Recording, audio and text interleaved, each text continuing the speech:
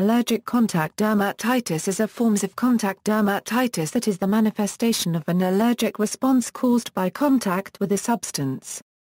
The other type being irritant contact dermatitis. Although less common than ICD, ACD is accepted to be the most prevalent form of immunotoxicity found in humans. By its allergic nature, this form of contact dermatitis is a hypersensitive reaction that is atypical within the population. The mechanisms by which these reactions occur are complex, with many levels of fine control. Their immunology centers on the interaction of immune regulatory cytokines and discrete subpopulations of T lymphocytes.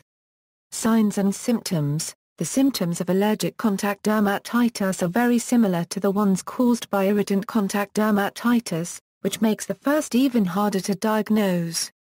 The first sign of allergic contact dermatitis is the presence of the rash or skin lesion at the site of exposure. Depending on the type of allergen causing it, the rash can ooze, drain or crust and it can become raw, scaled or thickened. Also, it is possible that the skin lesion does not take the form of a rash but it may include papules, blisters, vesicles or even a simple red area. The main difference between the rash caused by allergic contact dermatitis and the one caused by irritant contact dermatitis is that the first one tends to be confined to the area where the trigger touched the skin, whereas in the second case, the rash is more likely to be more widespread on the skin. Another characteristic of the allergic contact dermatitis rash is that it usually appears after a day or two after exposure to the allergen, unlike irritant contact dermatitis that appears immediately after the contact with the trigger. Other symptoms may include itching, skin redness or inflammation, localized swelling and the area may become more tender or warmer. If left untreated, the skin may darken and become leathery and cracked. Pain can also be present. The symptoms of allergic contact may persist for as long as one month before resolving completely. Once an individual has developed a skin reaction to a certain substance it is most likely that they will have it for the rest of their life, and the symptoms will reappear when in contact with the allergen. Cause Common allergens implicated include the following, nickel a euro metal frequently encountered in jewelry and clasps or buttons on clothing, gold a euro precious metal often found in jewelry and dental materials, balsam of Peru a euro used in food and drink for flavoring, in perfumes and toiletries for fragrance, and in medicine and pharmaceutical items for healing properties. Derived from tree resin. It may also be a component of artificial vanilla and or cinnamon flavorings. Chromium a euro used in the tanning of leather. Also a component of uncured cement mortar, facial cosmetics and some bar soaps. Oily coating from plants of Toxicodendron genus a euro poison ivy, poison oak, and poison sumac. Sap from certain species of mangrove and agave, thiomersal a euro mercury compound used in local antiseptics and in vaccines, Neomycin a Eurotopical antibiotic common in first aid creams and ointments, cosmetics, deodorant, soap, and pet food. Found by itself, or in Neosporin or triple antibiotic, fragrance mix a Euro group of the eight most common fragrance allergens found in foods, cosmetic products, insecticides, antiseptics, soaps, perfumes, and dental products, formaldehyde a Euro preservative with multiple uses, for example, in paper products, paints, medications, household cleaners, cosmetic products, and fabric finishes. Often released into products by the use of formaldehyde releasers such as imidazolidinylurea, diazolidinylurea, quaternium 15, DMDM hydantoin, and 2-bromo-2-nitropropane 1,3-diol. Cobalt chloride a Eurometal found in medical products. Hair dye Antiperspirant. Metal-plated objects such as snaps, buttons or tools. And in cobalt blue pigment, bacitracin a eurotopical antibiotic found by itself, or as polysporin or triple antibiotic, quaternium-15 a euro preservative in cosmetic products and in industrial products.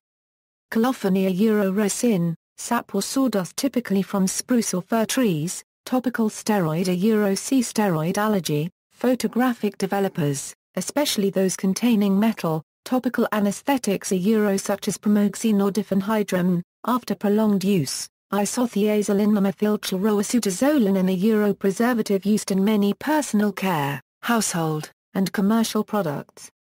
Soluble salts of platinum a euro C platinosis.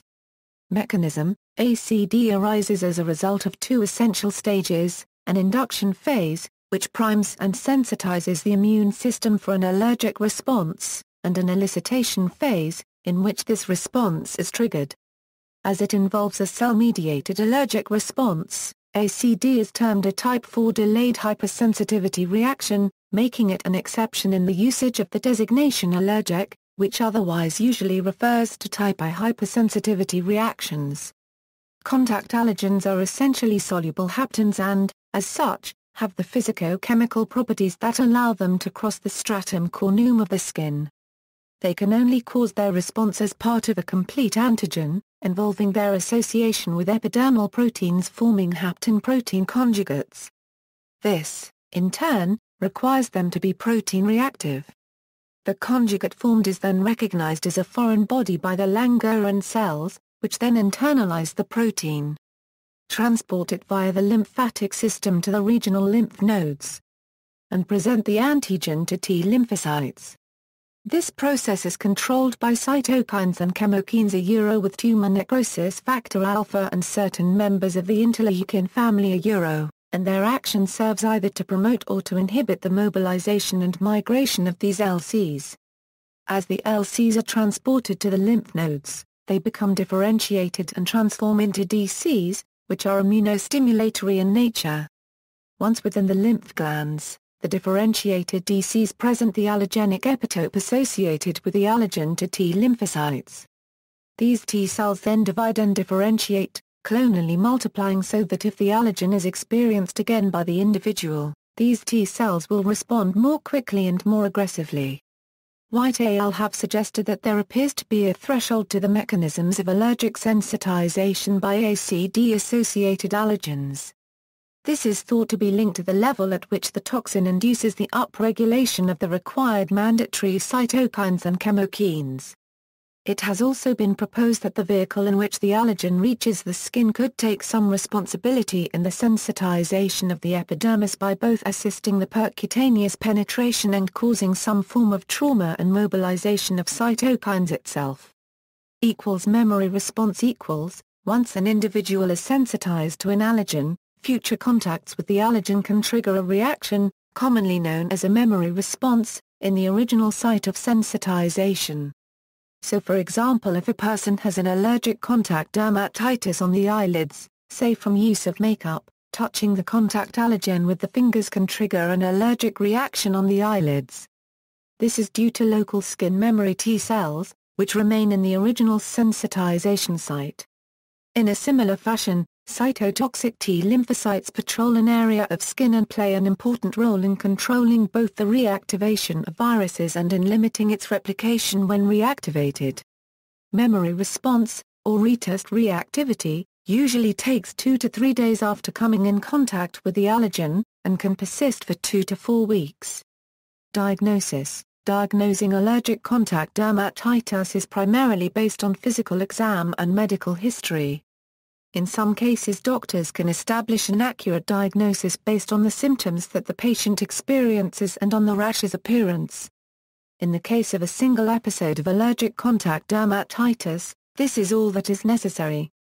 Chronic and or intermittent rashes which are not readily explained by history and physical exam often will benefit from further testing.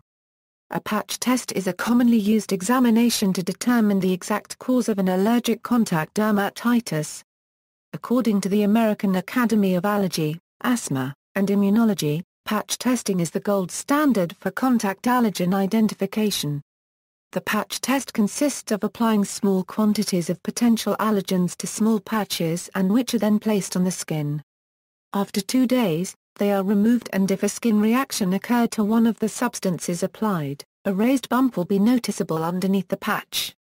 The tests are again read at 72 or 96 hours after application.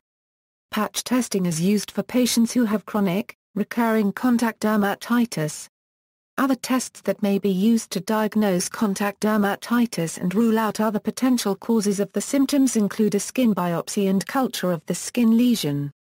Treatment Persons who develop the rash and the other symptoms from a certain trigger are most likely to have it for the rest of their lives and detecting and avoiding the allergen is mandatory in treating the condition and resolving its symptoms.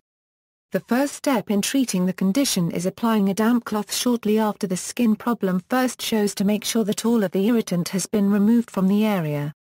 In some cases, the best treatment is to do nothing to the area. In mild to moderate cases, Patients may use skin creams containing corticosteroids to reduce the inflammation. These creams should be used carefully and according to the instructions they come with because when overused over longer periods of time they can cause serious skin conditions.